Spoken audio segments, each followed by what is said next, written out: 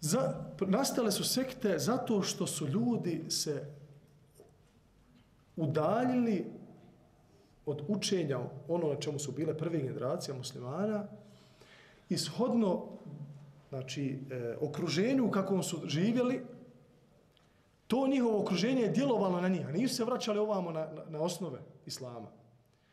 Pa su počeli da mijenjaju prioritete.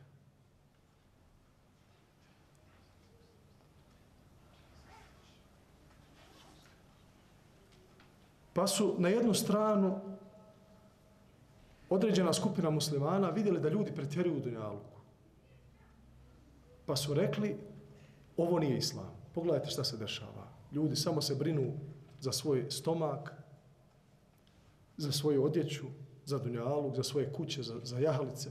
Hajmo mi na drugu stranu. Hajmo uzeti da nam je prvi prioritet da budemo skromni. I zasnovali osnove islama na skromnosti. Skromnost je pohvalna i poželjna. Ali da ti to bude osnovni princip islama. Da ako vidiš drugog brata muslimana ko na tvoj prvi, koji na prvi tvoj pogled nije skroman, jer ima malo raskošniju odjeću, kao nije on dobar.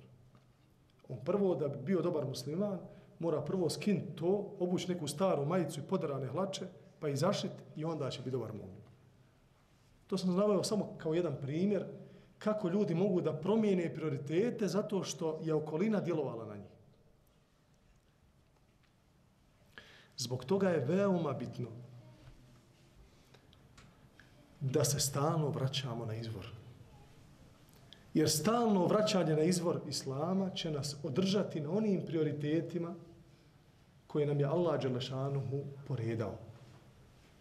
Allah Đelešanuhu je poredao prioritete onako kako će nama ti prioriteti donijeti dobro ovoga i budućeg svijeta.